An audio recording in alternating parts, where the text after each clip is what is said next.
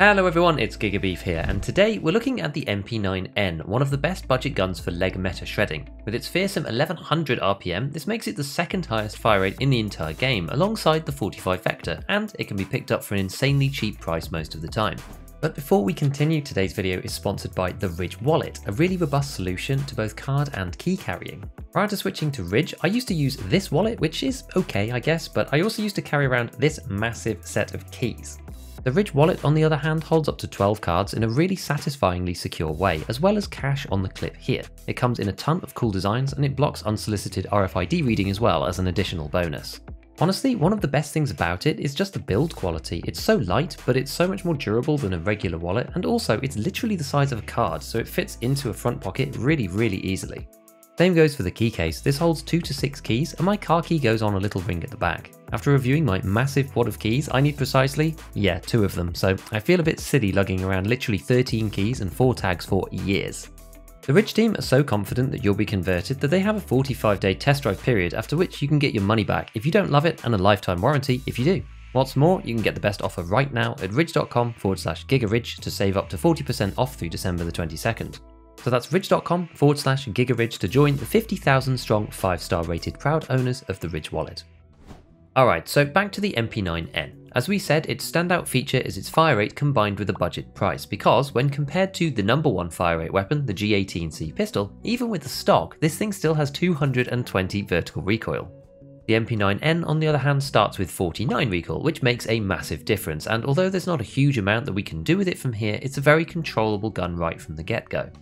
Interestingly, you can't buy the MP9N from traders at all, having to rely solely on the flea market. The regular MP9 can be bought from Peacekeeper 2, but this version without the N only has 900 RPM, so is a touch slower on the fire rate, but these two guns are broadly interchangeable. Into the build. To get the most out of this weapon, we need to equip a sound suppressor mount to the front and attach an MP9 suppressor onto that, which is the only supported muzzle device. This reduces the recoil down to 44, but is totally optional. As a Mechanic 3 purchase, it's locked to a relatively high trader level and you can use the gun just fine without it. Once you have the mount, you can then attach a laser or a flashlight directly underneath, depending on what you prefer, rather than using the side mount over here if you're not using it. Really oddly, the upper for the MP9N gives less ergo than a regular MP9. If you really want to min-max it, you can swap to one of these instead, but as they aren't a trader item and players typically don't list these on the flea either, the only way to get it most of the time is to buy a regular MP9, take off the cover, sell the rest back to mechanic, and then attach it to the MP9N. This often ends up costing around 10k. Is it worth it for 3 ergo? Well, probably not, but it's interesting to see that these are different at all. In terms of magazines, this is where we get a little bit limited. The options are 15, 20, 25 and 30. Obviously with such a fire rate we're really gunning for the 30s, which are Peacekeeper 3. There is a barter for a gas analyzer at Peacekeeper 2 as well if you're really desperate, which can be cheaper than the flea sometimes. Unfortunately, the 25s are also Peacekeeper 3 and the next down are the 20s at Peacekeeper 2. I just don't think it's worth using this gun without at least the first mag being a 30 rounder because even then you only get 1.6 seconds of shooting time before you're empty. This is where the argument for the regular MP9 comes in slightly, as the lower fire rate firstly helps with the recoil and secondly means that you don't run out of bullets quite as quickly at 2 seconds of sustained fire instead before going dry with a 30 round mag. This is at the expense of time to kill of course, and with the MP9N we're kind of going all in on a very specific playstyle, so it's a trade-off to consider. With the Picatinny rail at the top, you can use whatever you want for optics. Personally, I'd probably just go with a delta point, but any will do. I mean, at least half the time we'll probably be point firing without using it at all. So pre-optic, this whole gun will cost us about 60k, and 30,000 if you decide to go loud and proud. So with our weapon down, it's on to ammo. 9mm has really been suffering the past few wipes, in part because of its lack of availability and low performance at the top end compared to other calibers. EVP, the best round for penetration, is actually not terrible, slightly better than M856A1 in my opinion, but it costs around 1600 to 1800 to craft it with a base time of 12 hours and you only get 200. Using this in a regular way will also fail against class 5 armour, which is fairly common after the first two months of the wipe. The second best ammo, AP6.3, simply doesn't have enough penetration as it has issues even with class 4, which is why we turn to the leg meta ammo at the other end of the scale. 9mm does have good flesh damage rounds, with RIP being the king and Quakemaker in second place. RIP can be bought on the flea, usually between 600 to 700 rubles per round, as well as bought in boxes of 20 using two barters, one with Skier for a strike and a Wilston, and one with Jaeger for a green tea. The tea is normally the go-to. If you can snag these for 9k or less, that only makes them 450 each, or even lower potentially. Having to buy them in 20s and unpack them one box at a time though is really quite annoying. You can craft rip as well in the workbench, but I don't think this is really worth it. If you wanted to do it easily, it's actually just cheaper to get it from the flea market because once you take into account opportunity cost, it ends up not really making sense. Quakemaker, the next one down, is a Peacekeeper 3 round and costs $2.58 a bullet, so at about 280 rubles using the Peacekeeper exchange rate. It's also available on the flea, but normally it's not that much cheaper than RIP to be honest with you. Importantly though, looking at the damages, RIP is a 5 shot kill and Quakemaker is 6, remembering that fragmentation doesn't occur on rounds with less than 20 pen. What's interesting about this though is that 5 shots from RIP deals 510 damage, which is quite a bit more than the 440 that we need to kill a PMC by shooting them in the legs. Technically speaking, at point blank, you can hit with 4 shots of Quakemaker and 1 shot of RIP and still secure a 5 hit kill, as this deals 442 damage. If you can be bothered, 3 Quakes and 1 Rip on repeat gives a bit of leeway for misses and should get the job done just the same as mags full of Rip on their own. Unfortunately, because we don't have any tools for mixed mag packing currently, making these magazines will probably drive you insane. The best practical way then is probably just half Rip at the top and half Quake at the bottom. So by means of comparison, the closest gun that is a step up to the MP9N is the 45 Vector, given the same fire rate and access to even stronger flesh ammo.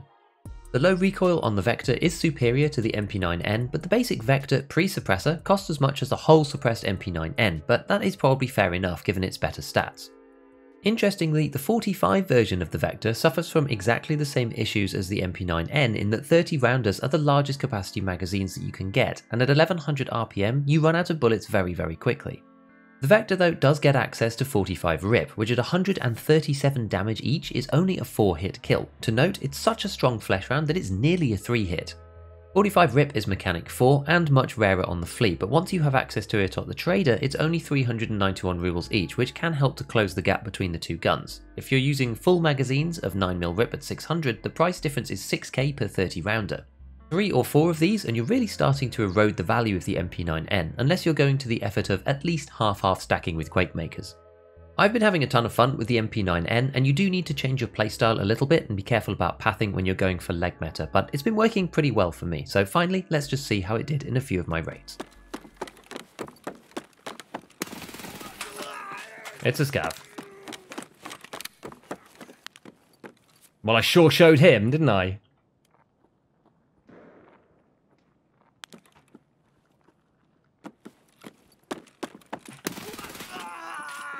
It's another scav. I'd have to start using, like, this guy's shotty to kill scavs, because I'm starting to get fed up. So, I'm going to go this way.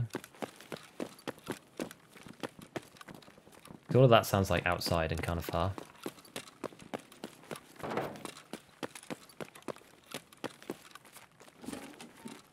See, now this this is a really crappy place to um, to be fighting with with an MP9.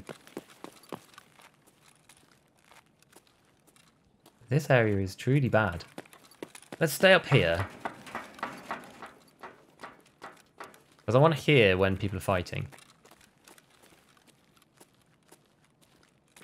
It sound like there was fighting over an IDEA, but...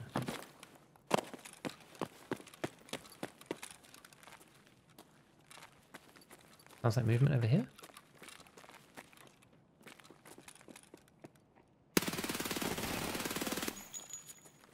Nice. Let's just pop round. Oh, there's, there's no cover that way. Uh, uh, uh.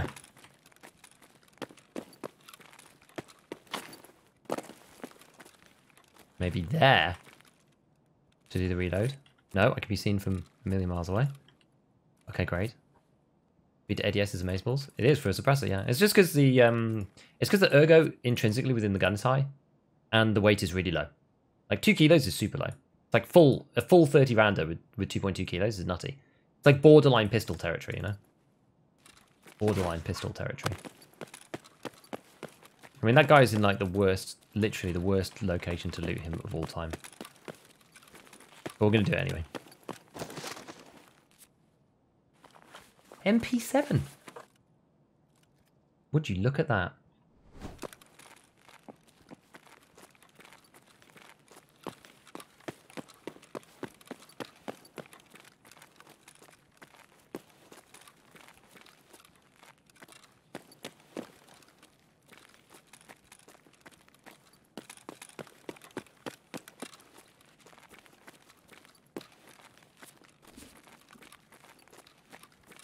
Okay, so the question is, where are they in here?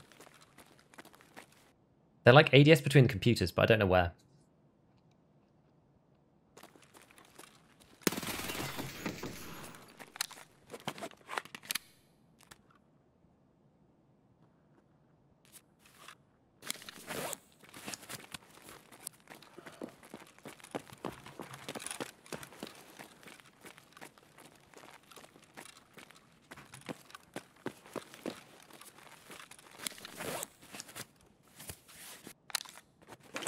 Let's see.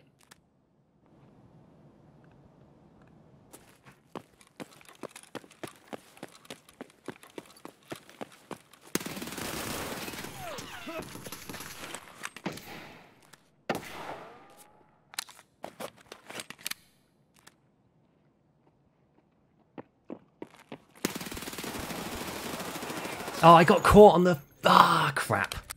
Got caught on the box behind me by my by my right leg. I think I nearly killed him anyway. I nearly killed him.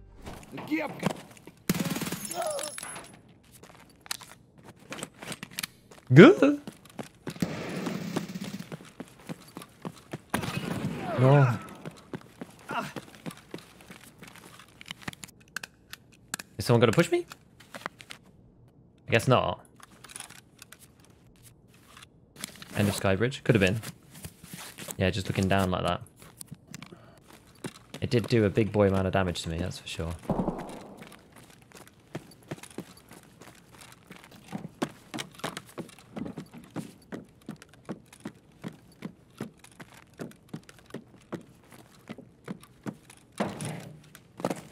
Someone's dead down here.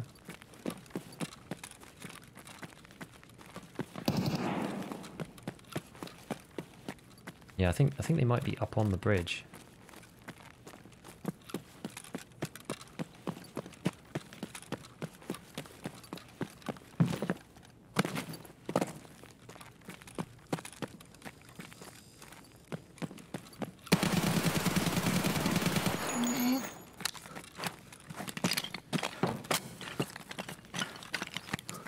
Okay. Can't hear anyone. I heard somebody else. Just don't know where. Which way would I rather be? I'd rather be on the other stairs, not this stairs. If possible. Still sitting Skybridge, sounds like. Maybe.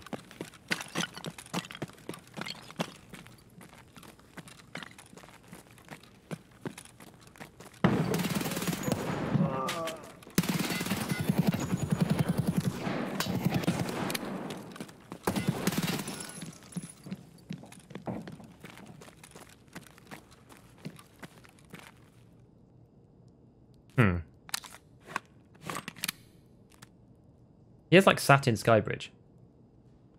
Makes it very difficult for me to...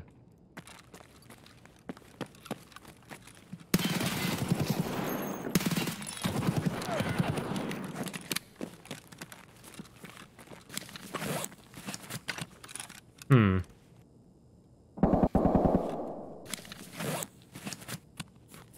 Run to gate zero.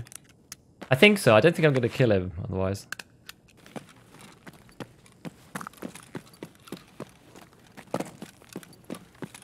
Do do do do do. He's coming. Oh yeah, no key.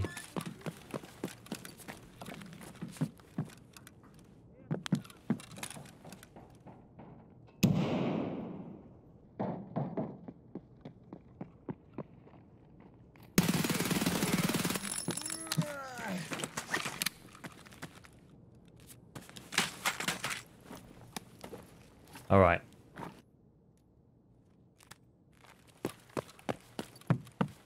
Don't have ammo? I do. Oh, no energy again. I can get energy again from using a golden star. It doesn't hurt me anymore because I have max metabolism. that was a perfect rat attack, wasn't it? Had you on the rope on the ropes in the office? Well, yeah, because he's lying down. How am I going to leg met him if he's lying down? That's not the way leg met is supposed to go. I'm supposed to be able to see them toes. I gotta run back through to get to gate three. Okay, let's go. We've got five energy.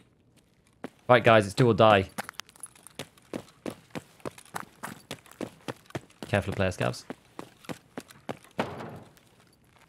I will try my best.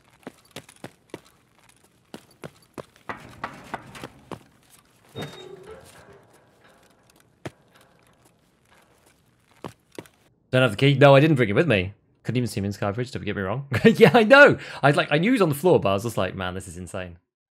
So next up, go and check out my video on the most accurate weapon in Tarkov. Otherwise, as usual, a big shout out to all my patrons. Hit all the buttons if you enjoyed the video, and as always, have fun in your raids.